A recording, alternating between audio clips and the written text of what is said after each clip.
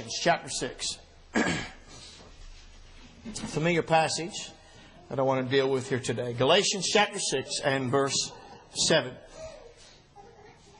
Be not deceived. God is not mocked. For whatsoever a man soweth, that shall he also reap. For he that soweth to his flesh, please note it didn't say the flesh, but his flesh. He that soweth to his flesh shall of the flesh reap corruption. But he that soweth to the Spirit shall of the Spirit reap life everlasting. And let us not be weary in well doing, for in due season we shall reap if we faint not. Would you say amen to the reading of God's Word? You may be seated this morning. I will quickly say that I have, I know sometimes a couple of series going on at the same time. I do that in my personal life. I have two or three books I'm reading all at one time. And, uh, but uh, sometimes too, I have different crowds at the church. My Sunday morning crowd's not my Wednesday night crowd. And I have to sometimes take that into consideration when I'm preaching.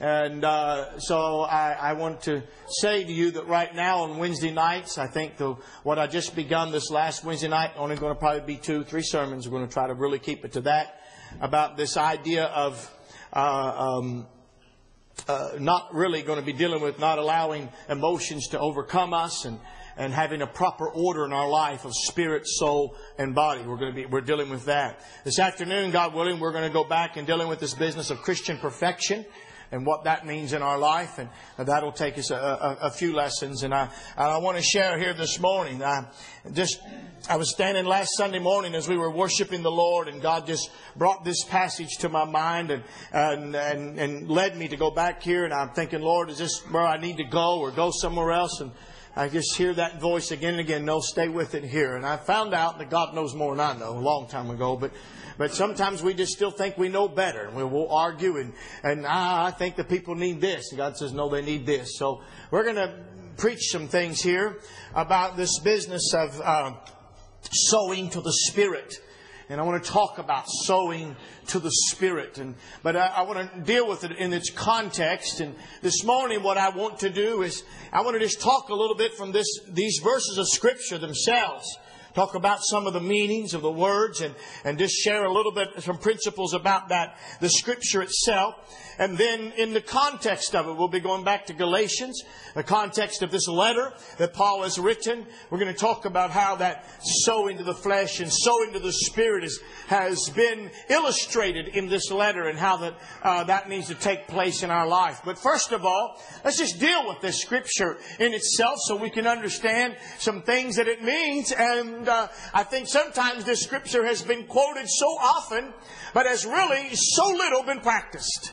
And so, uh, or at least I should say understood and, and made to have a practical application in our life. But God doesn't put anything in that Bible just to entertain you. God doesn't put anything in that Word just so you can have a story to tell your children at night. It's in that Word. He talks about in uh, 1 Corinthians chapter 10 when he talked about things that happened to the Israelites. He said, these things happened unto them for our example. These are our examples that we should not lust after evil things as, as they also lusted. And so God writes these things down for our benefit, for our good, for our learning, for our living. It is a practical application in that verse of scripture. And that's what we ultimately want to get to here. But you cannot get to the practice unless you understand the doctrine. If you don't understand the principle, you'll not make a good application of the principle. Paul always expressed doctrine, and then he took that doctrine and applied it and made it a practical application to the life. And sometimes people have applied the scripture without truly knowing the principle that was in the scripture. And that ultimately leads to uh, uh, wrong actions and wrong attitudes. So let's take a look at just some simple things and what this verse says. Verse 7, be not deceived. The tense of the the verb form, as I understand this, in this uh, phrase here, be not deceived, is literally the idea of stop deceiving yourselves. Don't go on being deceived. The idea is that they have already deceived themselves. Sometimes uh, we don't realize it, but a measure of self-deception has already taken place in our life because we've already started down a road we shouldn't be on it. Now, when we know as Christians uh, we can't violate the conscience, we know that we have to have a justification for what we do. There has to be a reason. There has to be some kind of righteousness behind what we do, or we know we're in sin. So we have to seek a justification. We have to find a, a, some kind of righteous reasoning to support our action and our activity. And this church is not any exception to the rule. They have taken a wrong road. Matter of fact, it's quite amazing. When you read it, if you flip back to the first chapter, how, how it comes. Paul normally, when he, uh, and this is the only exception, he writes to several churches in Galatia, not just one, but several churches. And, uh, and, and, and, he writes to them, he, he introduces himself uh, in order to establish his authority and where this letter is coming from. He sends grace unto them from God the Father and, and uh, Jesus Christ the Lord in verse 3 and 4 and what he did, and to him be the glory. But normally in all the other letters, there's a commendation. He commends them for something. This I'm praying for you, or, or this and that. But to this church, it's right straight to the point. It's right straight to a condemnation. In verse 6, I marvel. I marvel that you were so soon removed from him that called you under the grace of Christ unto another gospel. This church has bought into another gospel. This church church uh, has been removed uh, from the position that they were in Christ, and Paul is travailing in birth again until Christ is formed in them. And he makes that statement over in chapter 4. He talks about in chapter 4 and verse 19, My little children, of whom I travail in birth again until Christ be formed in you.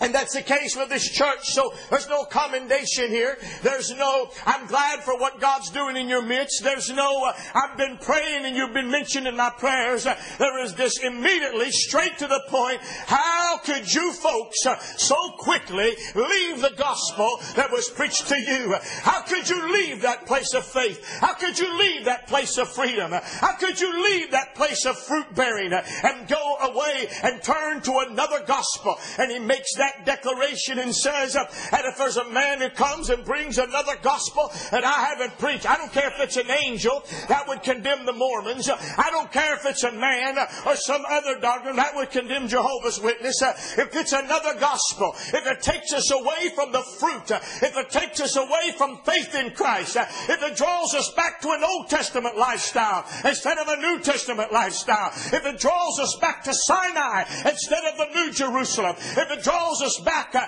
to a ceremonial law instead of liberty of Jesus Christ, if it draws us to a life uh, that is dependent on human effort uh, instead of the power of the Spirit of God, away with it, he said. It's a false gospel and it's not true and it should not be supported by the people of God.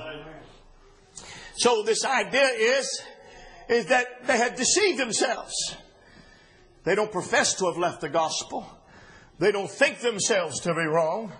But they are wrong and they have missed it. These were genuine Christians, genuine believers, spirit filled people. Because he mentioned later in chapter 5, I believe it was, or chapter 3, received ye the Spirit by the works of the law or by the hearing of faith. They've received the Spirit. That means they were Pentecostal people. They've been filled with the Holy Ghost. They've been baptized in the Holy Ghost, spoken other tongues. Uh, these churches were probably established on that first missionary journey of Paul and Barnabas through, through the, the area of Galatia and, and, and places where Timothy has come from. But now the Judaizers have come in and drawn them back to trusting the works and the ceremony and the observances of the law rather than trusting Jesus Christ. Depending on their own energy to live right instead of depending on the Holy Ghost to live right. Uh, trusting uh, in their outward form uh, and trusting in their external ceremony rather than trusting in Jesus Christ to be formed in them and to do His work in their life. It has resulted in the works of the flesh uh, instead of the fruit of the Spirit. Uh, and Paul comes to them and says, Stop deceiving yourselves. Uh, be not deceived. Quit Quit thinking this way. Don't go on deceiving yourself. God is not mocked. Uh, in other words, Paul said that you need to quit fooling yourself. Uh, God will be nobody's fool. God will be nobody's clown. He will be the brunt of nobody's joke. The tables will not be turned on him. He's not going to be made to look like an idiot. No, it will not happen. Whatever God says is going to happen. Whatever God says, whatever a man soweth, that shall he also reap. You will not make a fool out of God. He's not mocked. So he says, whatever a man sows, that shall he also reap. It's true in the natural world. It's true in the spiritual realm. It's true in the moral realm. I don't care what realm you put it in. It's true. Whatever seed goes in the ground is whatever fruit comes out of the ground. And that never, ever, ever changes in whatever realm we put it in, whether it's natural, physical, spiritual, it moral, it doesn't make any difference. Social, whatever it is, economic, it doesn't make whatever realm you put it in. If you sow, whatever you sow, whatever the nature is of the seed that you placed in that soil, whatever nature is in that soil and in that seed, and the elements working together is going to produce a crop that is true to the nature of the seed that you have sown. And therefore he says, if you sow to your flesh, he talks about, and if any man soweth to his flesh, that indicates something, that there is a sowing that a man can do to his flesh, and he can plant, and as he can gratify that flesh, he can spend time on it, he can dedicate himself to it, he can give himself to pleasing it, he can give himself to gratifying a wicked and evil desire. He can give himself to satisfying his feelings and his emotions. But I'm telling you, what he reaps is going to be directly related to what he sows. I'm going to tell you, and he said, what you're going to sow is corruption. Flesh is dying. Flesh has got nothing good to offer us. Flesh has got no value. It's enmity against God, the carnal mind is. And the Bible says that they that are in the flesh cannot. It didn't say they simply will not. They cannot please God. It simply cannot be. we we are dealing with that uh, principle as well in our Wednesday night Bible studies. But here he talks about that, that man that sows his flesh. We've seen it. I'm going to deal with it in the context. But this morning I just want to deal with this passage a little bit. But we've seen it in the world. It doesn't matter where you go. You, we've seen it men. They, they sowed their seeds. We've seen it of some of the gross acts of sin in our culture and our society. We've seen as men have given themselves over to perverted sexual relationships. Uh, we have watched the diseases. Uh, we have watched in this country as we have become more permissive with our bodies. Uh, we have been abandoned by the Lord God and God's given men over to work what's unseemly and what is uh, uh, uh, wrong and contrary to the Word of God. And in their bodies they've reaped a just recompense. We've seen sexually transmitted diseases have skyrocket and all kinds of new diseases coming under this world. We have watched in America as America has given itself over. Yes, and, and well, we've given ourselves over to become folks who are just consumed with food, and we've watched it. It's had a detrimental effect upon our bodies and upon the health of this nation. You can't get around that. That's just the way it is. We've sown in our economy to corruption and greed and the big business. And I'm telling you, we're reaping it today. We've sown dependency upon the government. We've sown big government and we're reaping the results of it. It's not brought morality. It's not brought greatness. Wherever we have sown wrong seed, we have reaped a harvest of corruption and immorality. You never get a bad crop from a good sowing. No, you don't get a good crop from a bad sowing. It doesn't work that way. No, sir. But nevertheless, this is exactly what has taken place. And he said, so we've seen it in that physical realm. We've watched it in the moral realm. We've watched it in the economical and social realm of our nation. In the spiritual realm, we've watched it as well. We've seen men, we've seen churches today that cater unto the flesh. Their whole idea is to gratify people. They promise you uh, uh, uh, the same heaven. They promise you the same results and the same fellowship with God without a commitment and a dedication to the cross. There's no devotion to a life of separation from the world. You can live like the world, act like the world, look like the world, think like the world, be like the world. But as long as you got your ticket to heaven, you're good. As long as you can claim to add Jesus to your life, sing a little bit about him, add him to your song, put him in your worship service, talk about him on the job and everything's all right. You don't have to conform to his image. All you got to do is just uh, come in and so they cater. And folks are able to keep all their carnal practices. They're able to keep all their carnal passions. They're able to live their own carnal lifestyle and still have the hope of eternal life. I'm telling you, but in the church we're filled with divorce, we're filled with fornication, we're filled with immorality, we're filled with greed, we're filled with division and corruption. And it hasn't come because we've sowed the holy seeds of God's word. We've sown to the flesh and we're reaping a harvest of corruption in the church world. We're not having an effect upon our culture in a positive sense. We're not able to stem the tide of homosexuality. And we're thinking what we need are more protesters. No, what we need are more people that live right. I think what we need is to get a million men march. If we'll just march on Washington, we can turn things around. No, I'll tell you what'd be better is get a million men that would stand up and start living holiness and preaching it and declaring it and go on their jobs and live right. Preachers would get in their pulpits uh, and downgrade sin uh, and get in their pulpits uh, and they would declare a, a, a, message of condemnation against the wicked practices of this world and the, and the transgressions of God's law. And that would stem the tide. That would let America's uh, uh, uh, people know I would let the streets know, look, um, the church is not here to gratify you. The church is not here to find a way to build a crowd and get you into its audience. The church is here to show you the way of life uh, and to condemn the way of sin uh, and to preach the way of Jesus Christ. We're here to be salt uh, and we're here to be light. And when you turn light on, when folks are in the dark, it hurts sometimes. The eyes are tough to get used to it, but we don't have much light. We've sown to the flesh and we're reaping corruption. Amen. But then he says, He that sows to the Spirit shall of the Spirit reap life everlasting. But sow into the Spirit again, I'm going to deal with it in its context and some of those practical things. But uh, again, just let me try to summarize and, and just try to drive the point home a little bit. Our life consists, I don't really see another option here. There is no third suggestion or option that's given to us. It's not he that sowed to the flesh and he that sowed to the spirit and he that sowed to something else. The indication from the verse and all throughout this epistle that Paul has written is that it's either flesh or spirit. You are sowing. You are planting.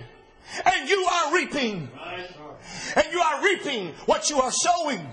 Oh, Brother Woods, I've got this and this and that and that. You know, you're saying now, but I didn't say anything. I'm just telling you what the Bible indicates to us. Me, I'm reaping what I have sown and what I'm sowing. That's it. You are too. I'm telling you, I've reaped some things. I've sown some bad things out there and I've reaped some corruption, but I've sown some to the Spirit as well and I have reaped life everlasting. I'm telling you, there's only two places. You're a planter. You're a farmer in this life. You're, you are here. You're here to build a crop. You're here to build a life. You're here as the field of God's handiwork. And please let it be known that whatever you're doing in your life, you are either catering to the flesh or you're catering to the Holy Spirit. You're getting stronger or you're getting weaker. You're getting closer to God or you're getting further away. You're becoming more endeared to Him or you're becoming more distant to Him. There might be a space of time where you hang a little bit in limbo, but you can't straddle for long. It's time to plant. You gotta choose.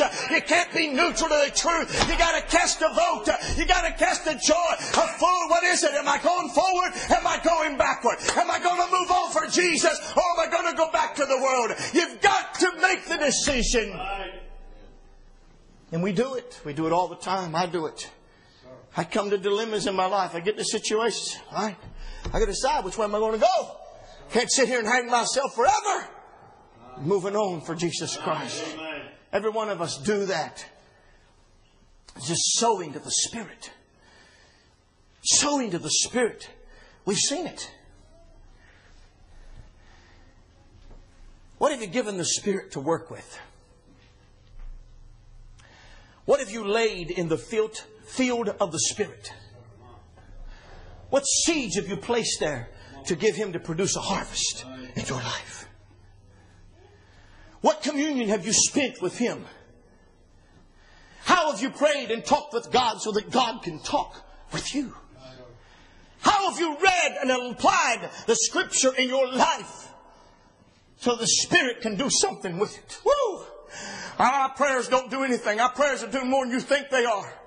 We've been studying in Revelation in our Hispanic uh, on Thursday night, and I'm telling you, read it again. This week it's read in, uh, I think it's in Revelation chapter 5, and then later on, we see it again coming in Revelation. I believe it's in chapter 10, uh, uh, chapter 8, 9, and 10. It deals with it in, the, in those contexts and talks about it. Whenever this judgment is coming upon this world, whenever those angels are going to sound those trumpets, uh, before they get ready to sound those trumpets, uh, there's one that takes some incense uh, and puts it on that altar in heaven uh, and offers it up with the prayers of the saints. Oh, glory to the Lamb of God. You may think sometimes God's not answering us. We cry for deliverance from the oppression of this world. We cry for God to do something and bring judgment upon this world and bring His righteousness to bear upon the lives of people. There will be a host of people that will be saved in the tribulation and it may just take it. It may just take the tribulation. But I'm telling you, when He brings it, all the prayers of the saints are coming up in His face as He brings judgment upon this world and He turns hearts back to Him and He turns Israel back to Him and a host of Gentiles are converted to Jesus Christ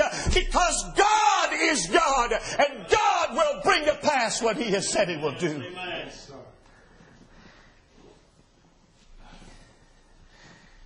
What have you done? You know, a man can't expect to reap a harvest of the anointing of the Spirit in the pulpit if he hadn't studied and prayed. If he hadn't given God something to work with. You want to reap a harvest from a church service. What did you put into it? Amen. I mean, let's just, understand something. There's a sowing there's a planning. There's something on my part. I'm the sower in this. When I talk about Jesus sowing, talk about me sowing. He that soweth to his flesh. He that soweth to the Spirit. This is something you do in your life. This is anything God does for you. This isn't something that God does with you. You do it. I've got to take and invest energy somewhere. I've got to put something into my life. I've got to let something come, whether it's by a book, whether it's by, by, by a CD, whether it's by a video, something into that window that the Holy Holy Ghost can use uh, and bring a harvest in my life. I got to listen somewhere to the preaching of God's Word. I've got to sing a song of Zion. I've got to dig in that book. I've got to get on my knees. I've got to do something where I can sow and then the Holy Ghost can take it and produce in me a harvest of life and a harvest of joy and righteousness. Oh, yeah. Thank God. Amen. What, what he wants to produce is a life. He said, What you reap from the Spirit is eternal life. Now let's just, I want to try. Let me just, this isn't complicated preaching. I'm not bringing anything new to you this morning. But life. If you were to gauge right now the quality of life that you have, and let's not talk about our physical condition, all right? Real quality of life is not based on health. And, you know, there have been some folks Paul and Silas at the bottom of a Philippian jail, bloody, hurting, aching, beating, were miserable physically, uncomfortable. I mean, just terrible condition. But when the earthquake comes, they aren't calling for the Greek gods. They're not reaching out to find the magistrates. They didn't go down to look for the sorcerers and those who were witches and those who were calling upon their gods.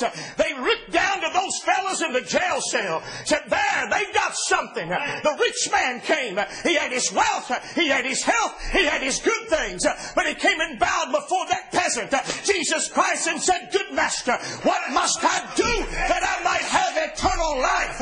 Life is not bound up uh, in your bank account. Life is not bound up uh, in the health in your body. It's a quality of existence uh, that goes beyond the material and reaches down to the state that's in a man's mind and his heart and his soul. The peace and tranquility and the joy that can be inwardly sustaining that man in the midst of his physical dilemmas and problems.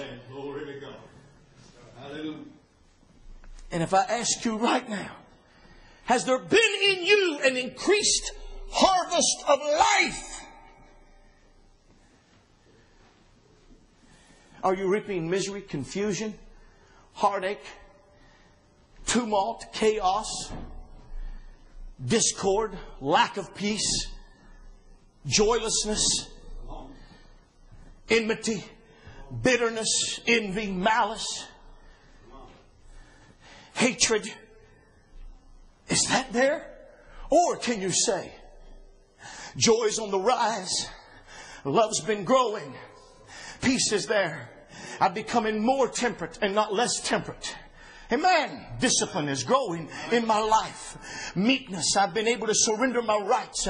I'm able to succumb and submit to authority better than I used to. More humble than I used to. I'm able to trust God in difficult circumstances. Uh, righteousness, peace, love, joy, peace, long suffering. I've become more supportive and be able to be more patient with people than less. Uh, I've been able to e- more easily forgive the wrongs uh, and the offenses of others around me. I'm talking about a quality of life life uh, that money cannot purchase. Uh, I'm talking about what he says love, joy, peace, long suffering, gentleness. Uh, I'm able to restrain myself more. I'm able to show a goodness to others. I'm able to help people who have hurt me. I'm able to pray for people for people who have, have criticized me and derided me and derailed me. I'm able to reach out and actually do good to a man who has manifested hatred and malice and enmity towards me. Can you say that in your life? I'm getting an increase. I'm getting a growth. I haven't arrived, but I'm telling you, I'm further along than I wish to be. Why? I've been sowing, I've been planting, I've been giving the Holy Ghost something to work with,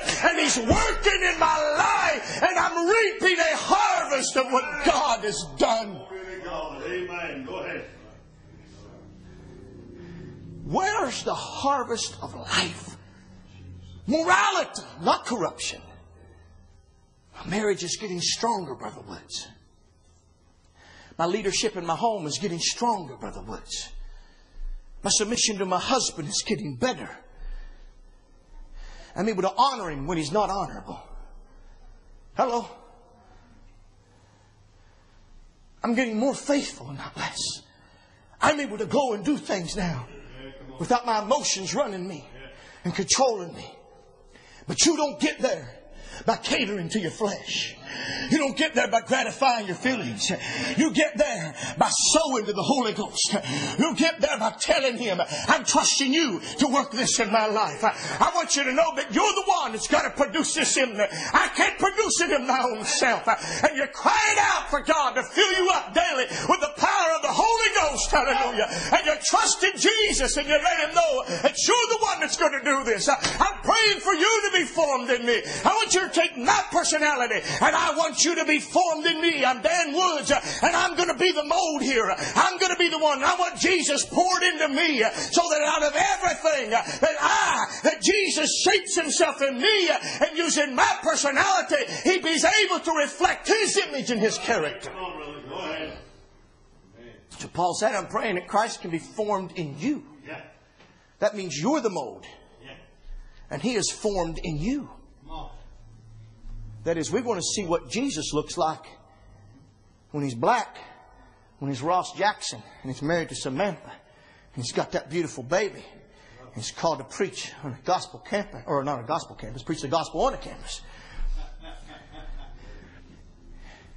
And he sits in this church. He sits under this leadership, and he sits on that pew, and he's got this job, and he's got this station. What's Christ going to look like when he's working in that body? What's he going to look like when he's got those gifts, when he's got that background, when he's got that kind of calling and that kind of duty and that kind of wife and that kind of baby and that kind of church? What's he going to do about it? How's he going to live? Here's the mold, Ross Jackson. Here's the mold, Samantha Jackson. Here's the mold, Steve Mitchell. And what we want uh, is we want a Steve Mitchell that is filled with Christ. We want a Steve Mitchell that's got Christ oozing out of him in every place. And so that all that Steve Mitchell does is what Jesus would do if Jesus was Steve Mitchell, so that he's formed in him. Amen.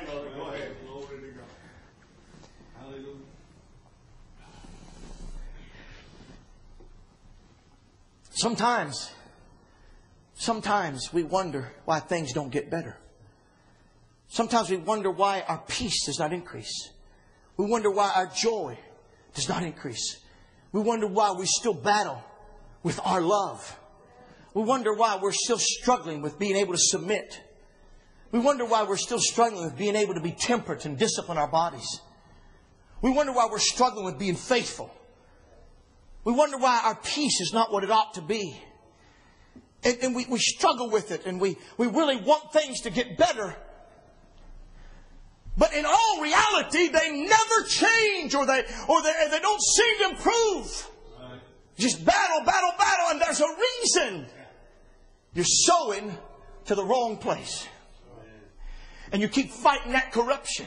You keep fighting that downward path. One day it'll get a hold of you. And you, you try to move up, but you're not moving up. You try for things to be better, but they don't seem to get better. They seem to grow worse. You seem to have less peace instead of more peace, less joy instead of more joy. Why? Because you're sowing and planting in the wrong field. You need to get out of the field you're in, and you need to travel across the way and get you another field where the Holy Ghost is. Hallelujah. And sow there. Sow in that field. Plant in that field. And you'll reap a harvest like you've never had before in your life. God will always give you back more. You'll be amazed how far even a little prayer and communion will go in your life. Amen. You always reap more than you sow. Always. And sometimes with even the little time that's spent in the Word and spent in prayer, it's amazing how gracious God is to give us such a harvest over the little effort sometimes that we have put forth into the work and in the kingdom of God. Hallelujah. We've sown a few kernels and got a stock full of ears of corn. Hallelujah. And I wonder, what can God do next week, Brother John, if we'll get on our face and say, God, I want revival. I want revival. I want revival. I want revival. Hallelujah. In this church again. Woo! Hallelujah.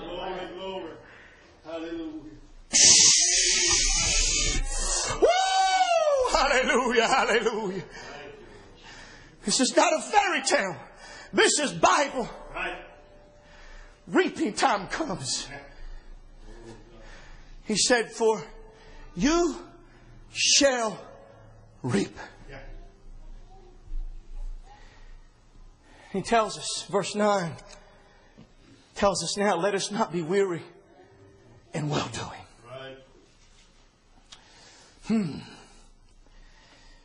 Let us not be weary in well doing. Have you ever noticed in our world the opposition that you experience when you simply try to do the right thing? You wasn't trying to get mean on anybody. You were earnestly, with all of your heart, you sought to do what was right. And don't you know you had more opposition than you figured on? It might even come sometimes from within the church. You had a good intention, you had a good deed, you did a good thing, you did it out of your heart, but somebody misinterpreted what you did. And your temptation is, what's the use? Throw your hands in the air and quit and say, what the use? Never a farmer was successful when he went out there and planted. And sometimes uh, it didn't go up uh, as fruitful as he wanted, but you know what he did? He fertilized it. Hallelujah. He went back there and labored uh, and he put some more effort into it. He never get a harvest by lowering up his hands and sitting on his porch and rocking away the rest of the years in a rocking chair. He'll never see a harvest. He's got to get the plow out again. He's got to get the seed bag out again. He's got to pray for rain again. But I'm telling you, if you labor, there will be a harvest. Hallelujah. Woo! Hallelujah, hallelujah, hallelujah. Thank you, Lord. Let's not be weary, tired feeling like giving up, exhausted. Just give up, give in, give out. Yeah. Yeah. He said, in well doing. That's it. You see, it takes time to sow to the Spirit. There's one thing I've understood about the process of sowing and reaping. It's not a fast process. And I'm going to tell you something. The more we've tried to hurry that process in the natural realm, the more we've brought corruption instead of good things. We pump the steroids into our animals. We bred all kind of hybrid crops that grow faster and quicker so we can get it twice instead of once a year. And I'm telling you, it's killing us. Now, everything, I don't even know if I know what gluten is. I've read about it. Am I going to worry about it? No. I'm going to keep praying over my food. And I'm going to keep eating. And if I die, I'm going to glory. Hallelujah. Hallelujah. I ain't getting all worried about that and taking every piece of bread and every piece of meat and locking a cow up in my backyard. I'm not going to do it. If you want to, have at it. But don't put it on me because I ain't doing it. It ain't got anything to do with your salvation either. Glory to God. You can be a gluten-free Christian. You can be a gluten-full Christian. Whichever one you want to be. The kingdom of God's not meat and drink, but righteousness, peace, and joy in the Holy Ghost. Hallelujah. What I am going to do, we spend so much time uh, so into that flesh, uh, worrying about our body, when our soul is famished uh, and we're losing out. Let's give it to God. Let's sow to the Spirit and reap a harvest. Hallelujah. Woo! Glory to God. Thank you, Jesus. Thank you, My point is, is you don't help things by trying to hurry them along. You generally make this issue worse. Sometimes nature has to take a course. Sometimes there's a path that's got to be done, but sow it. And don't look for the harvest the next day. But when you get up, get up in hope. Woo! And you might sometimes go out. I expected to see it break through the ground today. I expected to see a little bit of result today. But you know what? I didn't see it. But I tell you what I'm going to do. I have sown. I have planted. I have fertilized. I have cultivated. I've done all I know to do. I'm trusting the Holy Ghost to bring a harvest. Oh, glory to God. And you can know something. And when you come out one day, I didn't see it today, but I'll get up tomorrow morning in hope and I'll walk out on that field again and I'm looking for a harvest. Maybe I didn't see an outpouring of the Spirit today, but I'll see it next week. I'll see it tomorrow. I'll see it. Why? Because I've sown a harvest. I planted a crop. Thank God, amen.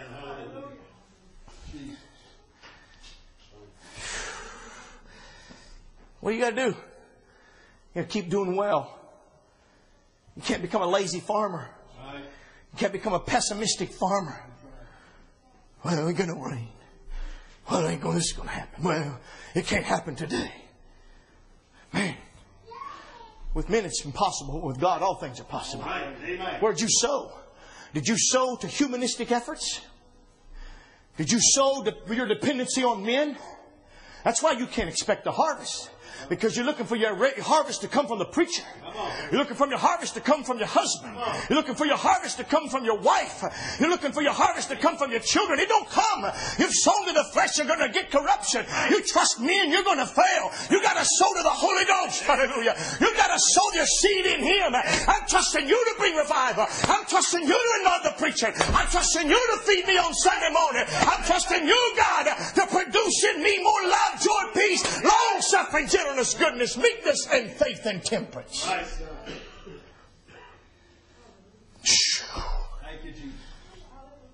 Just keep going back and doing the right thing.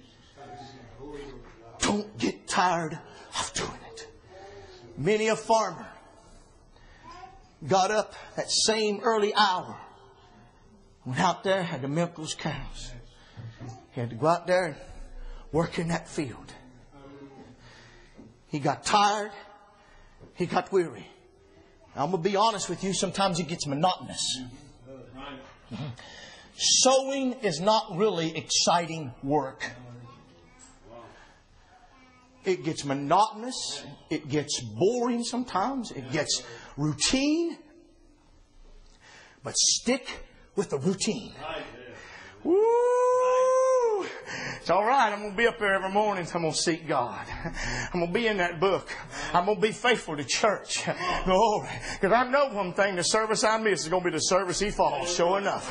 That week that farmer goes out on vacation is the week the harvest is going to come in. Sure enough, you know it's going to happen. No, I'm just going to do well. Well, it seems like I, I, everything I do, people don't appreciate it. People don't like it. I can't seem to do anything right. who are you trying to please, man or God? just ask yourself one thing. Am I sowing to the Spirit? Have I done what He wants me to do? Have I taken this temple and yielded it up as a living sacrifice and presented it holy and acceptable unto God? That's my service, and I want to harvest back from what I've given. Hallelujah. Come on. Yes, sir. What's my harvest? It ain't money. It's not really even health. It's life. I'm not asking God to take away my trials. I'm asking Him to make me more gracious in my trials. I'm not asking God to give me a smooth road. I'm asking Him to give me some callous feet and I can keep walking on this road. Hallelujah. I'm not asking Him to take every mountain out of my life. I'm asking Him to give me strength to climb them. Glory to God. So when I reach a top, and you might feel like sometimes, I heard a man say recently, you might feel like sometimes you're on an island and nobody cares where you're at. But I can tell you what an island is. An island is nothing more than a mountaintop showing its top sticking up out of the bottom of an ocean. And you may be on an island, but you're on top of the mountain, glory to the Lamb of God. And if God is with you, then lift up your hands. A harvest is going to come in due season. It won't come when you want it, but when it's ready, when it's ripe, when it's time, God's going to bring the harvest to your life. Hallelujah. Glory to the Lamb of God. In due season. In due season when it's ready. When it's time. There's something that we sometimes we apply here in the good, but we don't realize that it's also true on the other side of the fence. We see those churches, you hear me carefully, and we know there's things there that's wrong, but they're prospering. They're sown to the flesh but they're prospering. Their crowds are growing. They talk about conversions. Their mission outreach is growing. My wife just told me about a woman, a widow we knew in Elkins, West Virginia.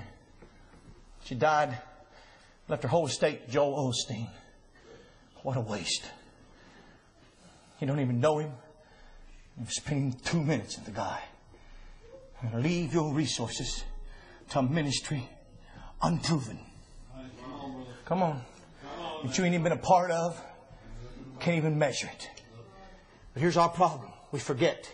Even the harvest from the flesh comes in due season. It doesn't come overnight. Now, you don't sow to the flesh today and reap all that corruption tomorrow. You'll reap some joy for a while. You'll reap some good times for a while. It'll seem like everything's going good, but then a day will come that harvest time will come in. There'll be a day that the ship comes into port. Come on now. There'll be a day that it comes time to pay the fiddler. Yes, sir. And then we'll see. Then when the health is broken. Then when all that corruption you've sown has now, and you look out across that congregation, you ain't got enough spirituality in it to save a mouse. You ain't got enough of God in that place uh, to even face the devil, let alone cast one out. Uh, you ain't got enough of God in that place to overcome the smallest temptation. And when America goes down the tubes, uh, that same crowd that's dependent on money, they'll be clamoring and climbing and crying and scratching for every little thing they can get. Instead of going to the God that always supplies our needs, instead of going to the one that provides the harvest, I'm telling you, it may be tough going now, but if we'll sow to the Spirit, Brother John, we're going to have a harvest. We're going to have a harvest. We're going to have a harvest. Hallelujah. And it's going to be a good one. Praise the Lord. Woo! Come on, stand to your feet. Go into the Lamb of God and give it praise. Hallelujah.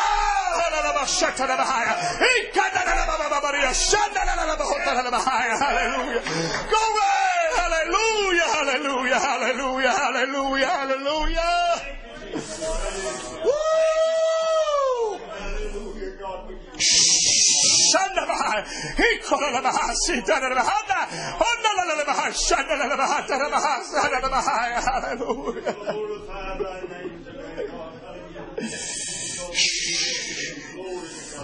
Hallelujah.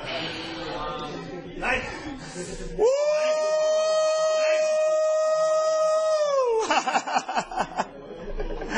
Hallelujah! Hallelujah! Hallelujah! Hallelujah!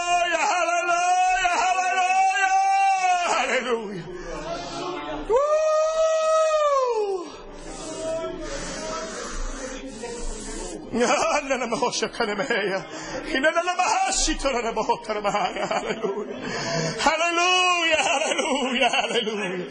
Hallelujah. Hallelujah. Hallelujah. Hallelujah. Hallelujah. Hallelujah. Hallelujah.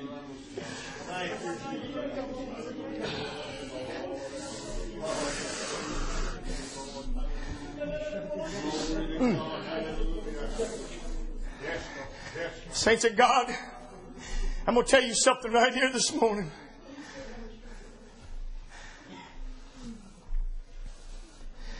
The harvest of life, that is an increase of joy, that I mentioned earlier in those nine fruit of the Spirit. That's life. That's life. Love. Ah, if you've got love, you've got life. Right. Woo. Right. Man, when you can reach out and do good to people that have wronged you, you've got something. You got something the world ain't got. I'm telling you. Man, when you can come to church with a passion, burning for Jesus Christ, when everything's went wrong in your life, that's something the world don't have. Their passion goes up and down based on their circumstances, based on their emotions and their feelings. But when you've got love and it's God's love, you've got life, church. When you've got joy, I'm telling you, you've got an inward vitality that makes you be able to smile in the midst of difficult times. You got something the world doesn't have. Jesus said, My joy I give unto you. My peace I give unto you. Hallelujah. These things I've written that your joy might be fulfilled. Hallelujah. I'm telling you, when you've got peace in the midst of difficulty, you've got life. Right. Right. When you've got self denial and temperance in your body, faithfulness, you've got something. Right. You've got something. And you're not doing it so you can win a gold medal at the Olympics. You're not doing it so NBC can plaster you as their, as their poster boy all over the world.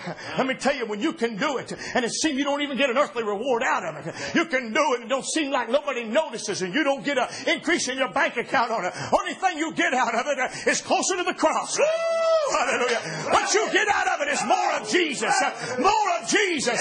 Less of you and more of Jesus. You've got something. You've got life, brother. Amen. Praise God. gentleness, real goodness, meekness, the ability to surrender your rights. We think we ought to be more aggressive. I ought to be able to show folks my stuff. I ought to be able to tell them that, hey, I'm the one in charge here. Man, when you can show more meekness, when you can show more servant's attitude, you got something this world don't have, my friend. You got life. You got life. and it's the contingent on two things. Number one, you got to sow. Right. You ain't going to get it unless you sow. That's right. Amen. God's going to put it in you when you're saved. But you got to sow to it if you want to heart increase it. If you want it to grow in your life, you got to plant some seeds. Woo, hallelujah. And the second thing it contingent on is faithfulness and well doing. You can't lose heart. You can't quit. You can't give up when it looks bad, when you're tired, when you want to, when you want to lose heart, when it becomes like it's hopeless, when you feel like you're not getting anywhere, when you don't see any results, when it looks like the harvest didn't come. You got to keep working anyway. You got to keep sowing. You got to keep planting. You got to keep plowing. You got to keep cultivating. You got to keep doing what God says to do because, my friend, let us not be weary in well doing, for in due season, in due season, if it's not this year, it's next year. I don't determine the season. I determine the sowing. I determine the labor, but I don't determine the harvest. God will determine that in due season, in due season, in due season, in due season. Hallelujah. You will reap. You will reap. If you don't give up. If you don't quit, if you don't shut it down, if you don't become disheartened, if you don't leave out, you'll reap. Sir. Woo!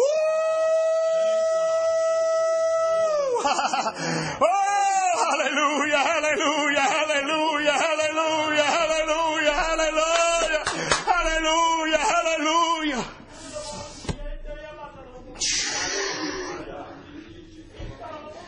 Mm. Mm.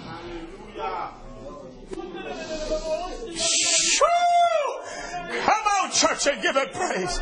My, why don't you lift his name up today?